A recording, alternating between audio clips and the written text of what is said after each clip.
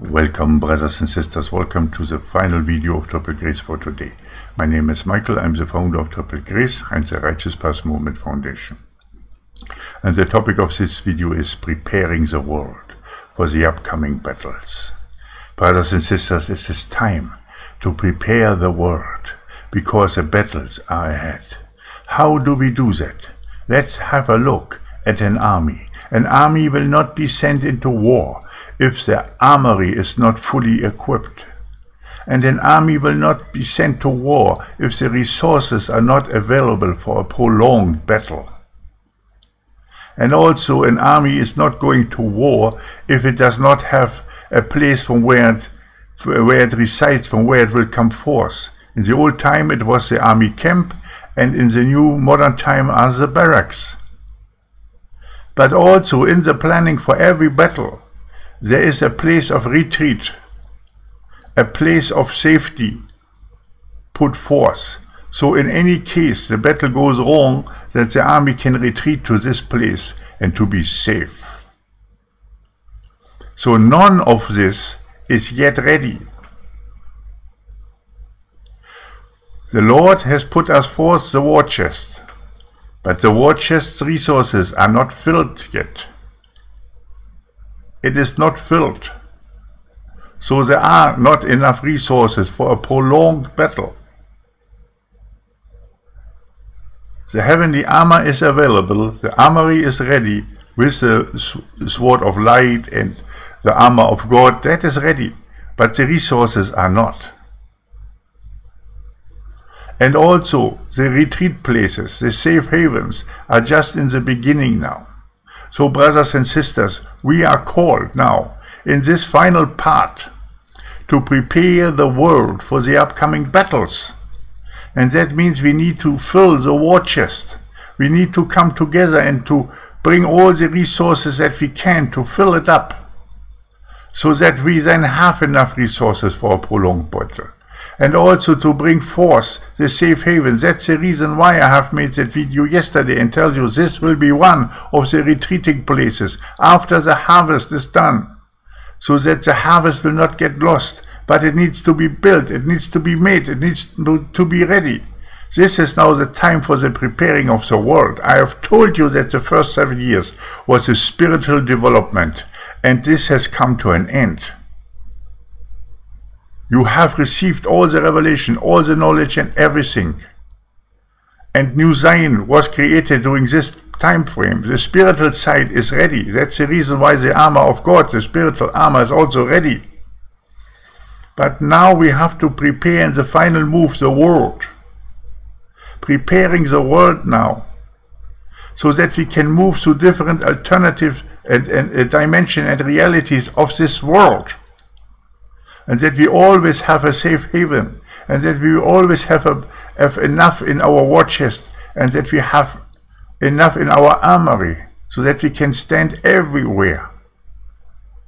That's the reason why you are called now to prepare the world with the safe havens and to fill the war chest. It is absolutely mandatory to fill it up, to, to have all the resources. The Lord will help. He will grant blessings. He will grant windfalls. He will grant all this. But if you receive such of a sake a blessing and a windfall, then don't forget to fill the war chest. It must be filled to the brim, so that we are ready for our destiny and purpose. As I have told you, it is not only spiritual. The churches always claim everything is only spiritual. What is not the case. Jesus Christ himself was a great example that it's not true what they say because he was spiritual and physical when he was on earth. The same what is coming to happen right now during, during the seal tribulation. Therefore, we must also prepare the physical side. We must come together in unity. We must fill the war chest. We must build the safe havens. This is a requirement so that we will be successful. And the safe havens is also the start of the foundation laid for the millennium kingdom.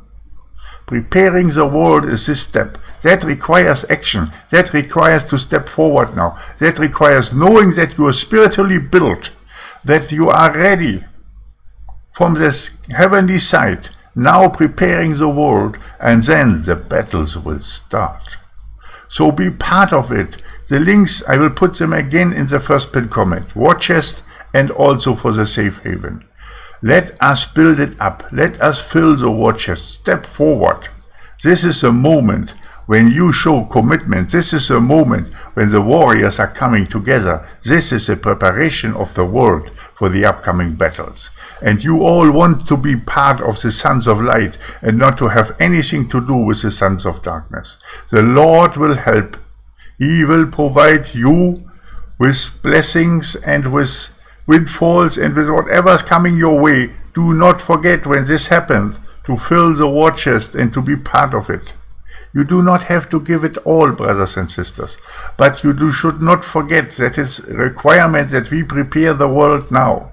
An army without enough resources will fail on the battlefield. An army without a place of retreat will be slaughtered by the enemy. So we need the safe havens and we need to fill the war chest. This is mandatory. This is the reason why the Lord has taken us spiritually now into the 2 to 2 season so that we can develop physically now for the, I believe, the first quarter of this year, and then everything will come to pass. Because I know we can manage it, and the Lord will help so that we will be ready with a filled war chest and with a safe haven ready as a retreat base. And also, don't forget, don't forget the vision of io.earth.de, where the Lord showed us clearly that the dwelling places of Zion are established on earth, and that there also a base for the warriors, and that from there also a selection will be made for the warriors to be sent on the battlefield. So it is like a command center on earth. If it's my safe haven that will be a command center on earth here in Cambodia or any other in the world or several of them who are connected together. But it will serve as a command center also. Where there is the connection between the commander-in-chief residing in New Zion with the, with the safe haven on earth and the commands will come down onto the earth as it was with Elijah on Mount Carmel when fire was falling from heaven and everything changed. And then these people who were standing around the altar were able to go to battle and to slaughter 800 fake priests of Jezebel. That was a battle because fire fall from heaven through a restored altar that we will do in the safe haven so it is already mandatory, you see. Now it's the preparation of the world where we're inside. So let us step forward. The spiritual side is finished. It was a long time spiritually to be emerged and to finish because it is a, it was very difficult to understand with a lot of revelation from the Lord. The physical preparation is easier to, to, to do. It's just a coming together and the Lord will help with resources so that we can fill the war chest and build and have the safe havens in the world. Brothers and sisters, this is a time of preparing the world for the great battles. Let the army of the Lord step forward with all the resources, with a filled war chest, and also with a place that they can retreat to when need is arriving. This is the time for us to come together in unity. This is the time to build the army, the remnant army of New Zion. And the Lord will be on our side. He will take our hands and He will give us blessing so that we can do it, that we can bring forth the safe havens and fill the war chest. So be part of it, brothers and sisters. You are called now into your destiny. Actions are required. This is a moment that you were longing for. Now fulfill your destiny and purpose and step forward. The links are in the first pin comment. Brothers and sisters, be blessed in the name of the Father, the Son, and the Holy Spirit. Amen and Amen. Maranatha.